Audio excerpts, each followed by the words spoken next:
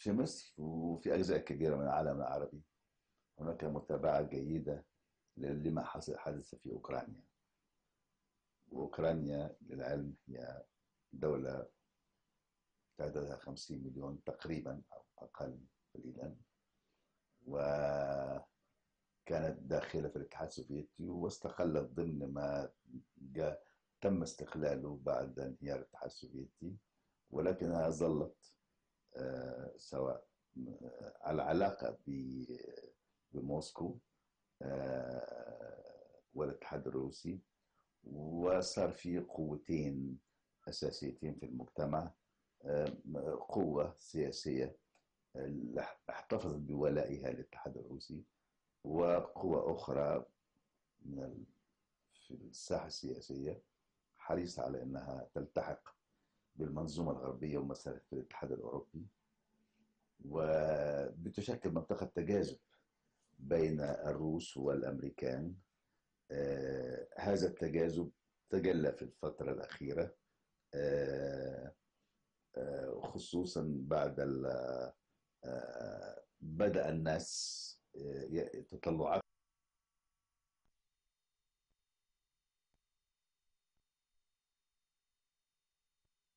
وفي صراع سياسي منذ حوالي عشر سنوات من 2004 تقريبا.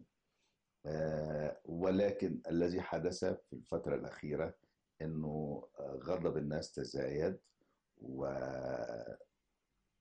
وتزايد خرجوا إلى الشوارع واعتصموا في آه، آه، في العاصمة كييف في ميدان الاستقلال الذي يعني أصبح مستقر في الأ- في الأذهان أنه إلى حد كبير بيماثل ميدان التحرير في مصر. آه، وحدثت مواجهات انتهت انتهت بأن المعتصمين آه، فرضوا رأيهم و آه، كان البرلمان هو ساحة الصراع بين الطرفين والبرلمان في ال- في نهاية المطاف هو بتأييد من الشارع وبدعم غربي مشهود آه، ظل يمارس ضغوطه فأقال رئيس الجمهورية وأقال آه، وزير الداخلية ووزير والنائب العام وزير ونائب ووزير الدفاع. آه، باختصار حصلت مواجهة انتهت باختفاء أو هروب الرئيس يوشينكو فيكتور يوشينكو فسواء اختفى راح إلى الجزء الروسي الذي هو بيتعاطف معه أصلا أو أيا كان مصيره لكن ما يهمنا في الأمر أنه هذه المتابعة التي أعادت إلى الأذهان السيناريوهات التي حدثت في دول الربيع العربي وفي مصر بوجه الخاص آه، جعلت كثيرين من المحللين يتحدثون عن دروس أوكرانيا ودور الخارج ودور ثورة الاتصال ودور التركيبة السكانية التي تضم سلاف وتضم آه، آه، آه، روس وتضم تتار يعني هذا يعني تعددت القراءات للمشهد في ال- اللي حصل في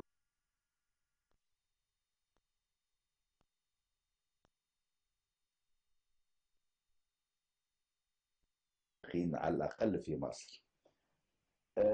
تتمثل هذه الزاوية في أنه الجيش وقف على الحياد.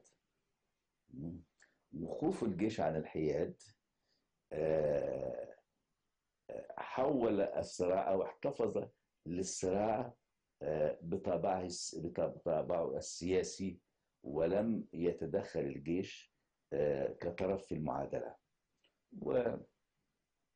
وفي بيان على موقع وزارة الدفاع ورئاسة الأركان قالت أنه آه، نحن سنقف آه، آه، بعيدا عن آه، تحيزات وسنحتفظ بمسؤوليتنا القانونية والدستورية وبالمناسبة ده اللي حصل في تونس أيضا. آه، ولهذا أنا شايف أنه آه، حساسية البعض هنا في مصر لأنه الجيش هو الذي اللاعب الأساسي في آه، آه، الآن فضلا أنه هو كان اللاعب الأساسي في تغيير نظام أو عزل الدكتور مرسي وتعطيل الدستور و وإلغاء مجلس الشورى. إلى آخره. المهم زاويه زاوية غياب الجيش وكونها حصلت الصراع في بين السياسيين ومعركة السياسيين هم الذين تعاركوا فيها وهم الذين تجاذبوا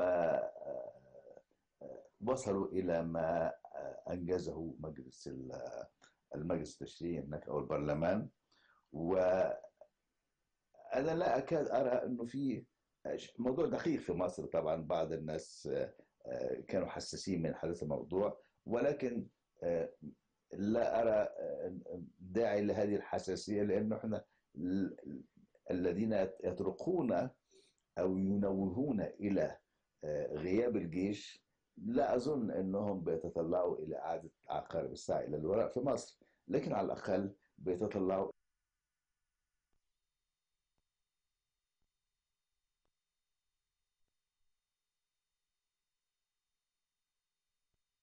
تحسين الأوضاع أو إعادة الاستقرار والسلم الأهلي في البلد. و لأنه في غيبة الجيش انتعشت السياسة. وفي حضور الجيش صدرت السياسة. وأنا بفرق هنا بين الجيش حينما يتدخل فهو بيخوض معركة. بينما السياسيين لما بيتصدوا المشهد فهم بيواجهوا أزمة. وهناك فرق بين المعركة والأزمة. المعركة فيها منتصر ومهزوم والأزمة ممكن يكونوا الطرفين منتصرين. وفي المعركة بيكون أنا أو أنت. في حين إنه في التفكير الأزمة ممكن نحن معا ننجح. وطبعا المعركة لها ساحة وفيها دبابات وفيها مدرعات وفيها أسلاك شائكة وغير ذلك مما نراه في الساحات في الشوارع المصرية الآن.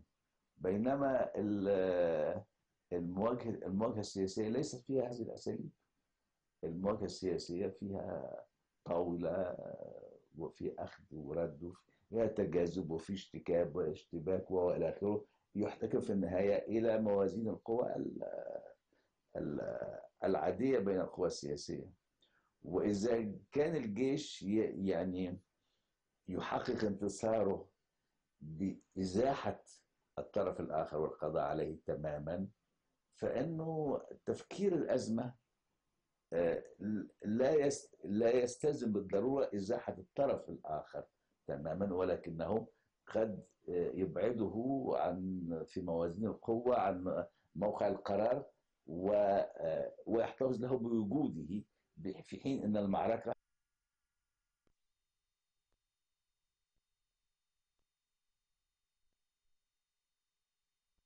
فرقة شديدة أو مهمة بين إنه وجود الجيش كيف يمكن إنه يحول ساحة المواجهة إلى معركة؟ كما ذكرت لها تداعيات في حين أن مشاركة السياسيين وفي غيبة الجيش بيجعل المعركة طابع آخر ومسار مختلف تماما ونهايات مغايره تماما عند عند الحد الأدنى فإنه الحوار السياسي لا يؤمن أو لا يفترض إلغاء الطرف الآخر بينما المعركة في وجود الجيش بتطرح فكرة إلغاء الطرف الآخر وإذا استعبرنا استخدمنا التعبيرات المصط... أو المصطلحات الشائعة في في الخطاب العربي فإنه في. في في في في المعركة دور الجيش بيقوم بيخوض معركة بتكون الوجود مبدأ وجود الطرف الآخر هو القضية هو المستهدف. في تونس الجيش وقف على حياد القوى المتنافسة تسارعت في الانتخابات فأهم ثلاث أحزاب اقتسموا السلطة حزب تولى رئاسة الجمهورية وحزب تولى رئاسة الحكومة. وحزب آخر تولى رئاسة المجلس التأسيسي وحتى حركة النهضة التي تولت رئاسة الحكومة بحكم أغلبيتها أغلبيتها في البرلمان فإنها تنازلت عن الحكومة مؤخرا. فأنا أريد أن أقول أنه أن غياب الجيش أتاح للسياسيين أن يتحركوا بقدر طيب من من الارتياح ورغم العواصف والتجاذبات والاشتباكات والإضرابات والاعتصامات التي شهدتها البلد إلا أنه في نهاية المطاف هذا كله تم حله على طاولة التفاوض. الذي استغرق وقتا طويلا وربما لم يرد كل الأطراف.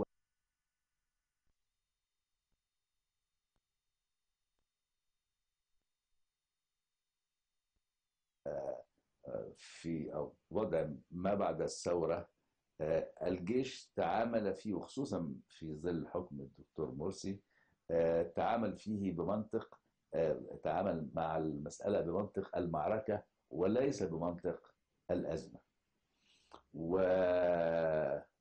وبالمناسبة فإنه في الموضوع الأوكراني الاتحاد الأوروبي تدخل تدخل وكان له حاضر وكان حتى اللحظة الأخيرة كان شريك في المفاوضات التي وصلت توصلت إلى اتفاق آه، آه، آه، بإجراء حكومة انتخابات رئاسية وبرلمانية وإلى آخره.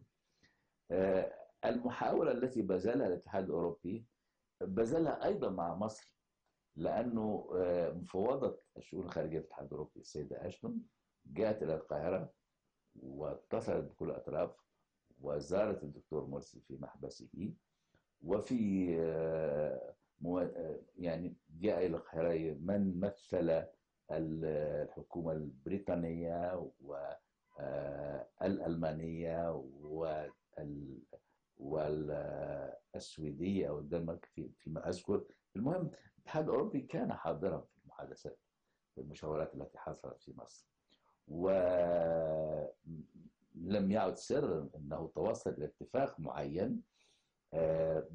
يفتح منفذ يفتح باب الحوار وكان من آه، المدخل لهذا الاتفاق آه، كان في اتفاق على إطلاق سراح اثنين من قيادات تحالف الدفاع عن الشرعية. كان دكتور محمد سعد الكتاتني اللي هو كان رئيس حزب الحرية والعدالة والمهندس أبو العلا ماضي الذي هو رئيس حزب الوسط وكان اتفاق وتحدد موعد لإطلاق سراحهم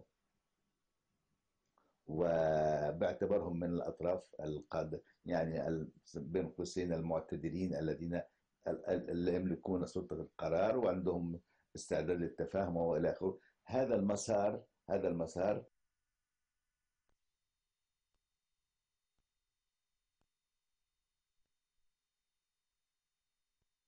ولكن للأسف الشديد هذا المسار توقف في اللحظه الحاسمة وبدلا من أنه يطلق سراح الاثنين فإنه أقحم الاثنان في قضايا لا أحد يعلم انه كل واحد آه، آه، آه، الآن من القيادات داخل في 10 قضايا 15 وفي ناس داخلة في أكثر من 20 قضية.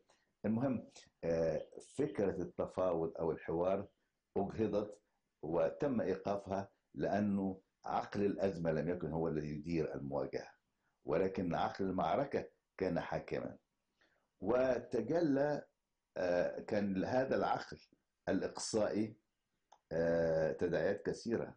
وللعلم فإنه آه، ال- ال- الإعلان خارطة الطريق التي تحدث عنها الفريق السيسي في آه، 3 يوليو الماضي تحدثت عن حوار وطني ومصالحة وطنية لا تستثني أحدا ولا تقصي أحدا. طبعا ده قيل في الخطاب السياسي الذي جرى بس في ذلك الحين ولكن عمليا آه، نحن بنجد الآن عقل المعركة الذي يتوسل آه، بالإقصاء التام آه، الذي يغلق أبواب الحوار ويتخذ من إجراءات القانونية وغير قانونية آه، وسيلة آه، ليس فقط لإقصاء الآخر ولكن للقضاء عليه تماما. ورأينا هذا في مصادرة الأموال ومنع الناس من السفر والتوسع في المعتقلين الذين وصل عددهم إلى 21 ألف معتقل. و ليس هذا فقط إنه إنه تجاوز حدود تحالف الشرعيه إلى إنه المسار تطور لأنه أصبح بيشمل قطاعات من المعارضة السياسية أيضا.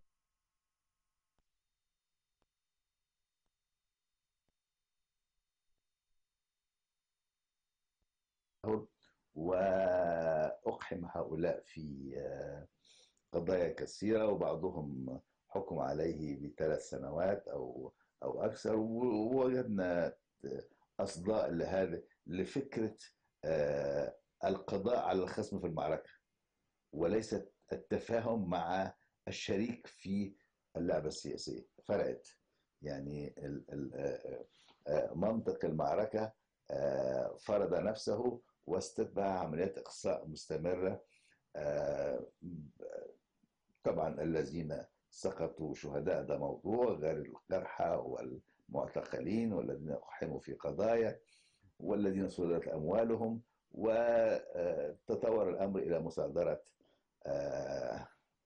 أموال أكثر من حوالي ألف جمعية أهلية وخيرية إضافة إلى تعطيل أعمالها وهي كانت بتقوم دور كبير في الرعاية الاجتماعية ما كانش لها علاقة بما يسمى بالإسلام السياسي. لكن العقل عقل المعركة كان اقصائيا إلى حد كبير. و... وكان متجاوز كتير لحدود الشراكة مع الوطن أو مستبعد الفكرة ولكن كان بيكرس فكرة القضاء على الآخر وليس التفاهم معه. ده بيعمل تعقيدات كثيرة في الساحة المصرية وأظن لا زلنا نعاني منها لأنه وعمليا لا يوجد لا يوجد في في الخبرة الإنسانية مشروع سياسي أو أو فكرة بيتم إقصائها أو القضاء عليها بقرار إداري ولا بإجراءات قانونية. ممكن في أفكار بتموت ولكن الزمن يميتها والمجتمع يميتها ولكن ليس السلطه وليس أجهزة الأمن. وده طبعا عمل تاثيره على يعني آه تفاعلات وتداعيات وصلت إلى آه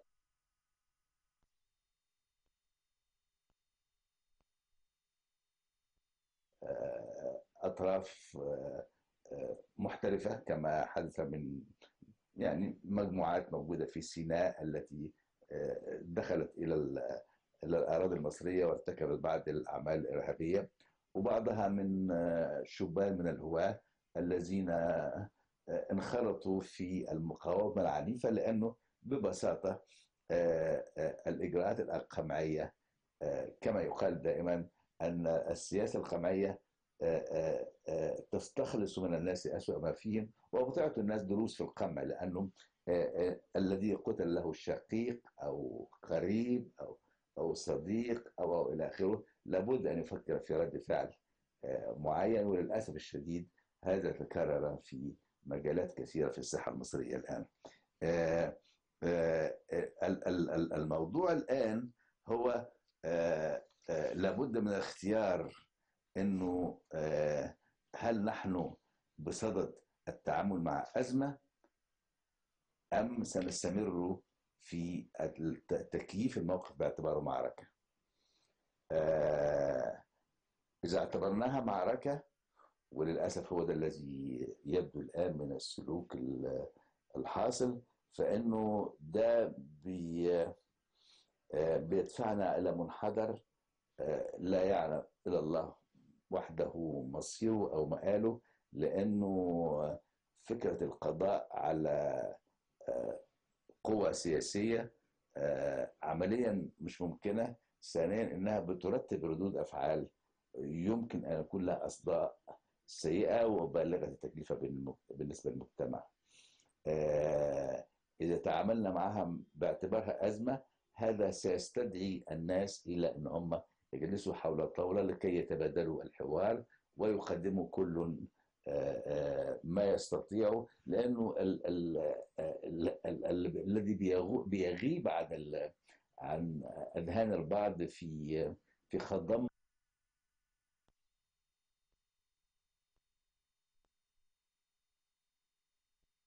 هناك شريحة عريضة من المجتمع لها تطلعات ولها احتياجات لا علاقة لها لا ب القوى السياسية المهيمنة على السلطة ولا لها علاقة بالقوى المعارضة التي لها طلبات ولكن لها متطلبات حياتية ومعيشية. هناك فريق ثالث كثيرون لا يلتفتون إلى تلبية احتياجاته.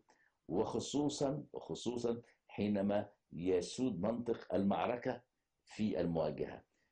في حين إذا إذا إذا فتحنا باب الحوار السياسي هذا يستحضر ليس فقط حقوق الطرفين ولكنه يستحضر أيضا حقوق المجتمع التي كثيرا ما تغيب في خضم هذه المواجهات والمرارات. وللأسف الشديد إذا كان هذا يحتمل في بلد محدود القدرة أو أو الحجم السكاني فإنه تكلفته تكون عالية كثيرا جدا في بلد مثل مصر. بنتكلم على 90 مليون إنسان. بنتكلم على دور اجتماعي وسياسي مؤثر. بنتكلم على تأثير وصدى في العالم العربي كله. ودون مبالغة فإنه فإنه الانكسار أو التوتر اللي حاصل في مصر للأسف الشديد بيكون صداء السلبي كثير موجود في في في العالم العربي. وأنا بمناسبة اللي حصل في أوكرانيا أيضا بحب أنوه إلى إلى نقطة أحيانا تغيب عن الأذهان وهي أنا ذكرت إنه الاتحاد الأوروبي تدخل لتحقيق الوفاق الوطني وحل الأزمة في أوكرانيا. وأن الاتحاد الأوروبي جاء إلى مصر أيضا ساعيا إلى إلى تحقيق نفس الهدف وان كانت اختلفت ال ال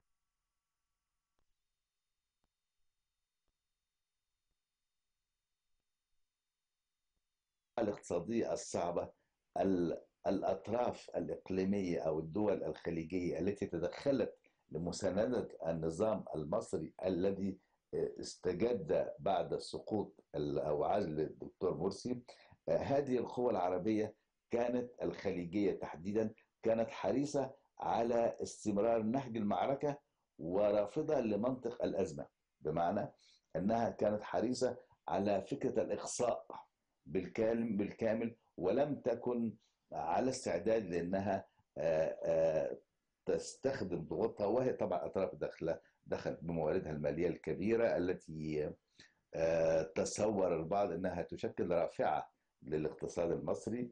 وكانت دي نقطة مهمة في في ترجيح كفه الإقصاء. وأنا لا أتردد في القول في إنه إنه هذه القوة حينما تدخلت في مصر لدعم سياسة الإقصاء فإنها كانت بتحاول أن تطبق السياسات التي تتبعها مع مواطنيها من حيث أنها هذه الدول لا تسمح لا بمعارضة ولا بحوار سياسي والى آخره وبالتالي بترى أن الإقصاء هو السبيل الوحيد لحسم المواجهات وسحب حسم الخلاف السياسي. في نهاية المطاف نحن أمام أزمة أصبحت معقدة ولا يكاد يبدو أن هناك في الأفق فرصة كافية لتحويلها إلى أزمة. الفرصة كافية للانتقال من المواجهة الإقصائية إلى الحوار السياسي ولكن هذا مصير لابد أن يحدث في وقت ويبدو أن الأطراف أو على الأقل الطرف القوي غير مستعد أن هو يدخل في الحوار طالما أنه ليس مضطرا إلى هذا. أما متى يضطر إلى هذا؟ ولا أحد.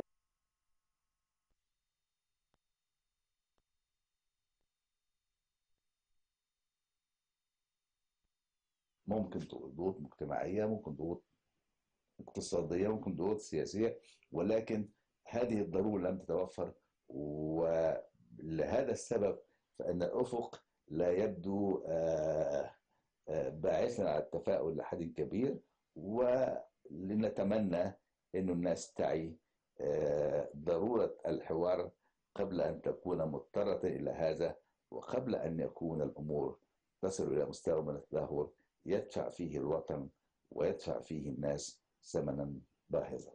صباح الخير.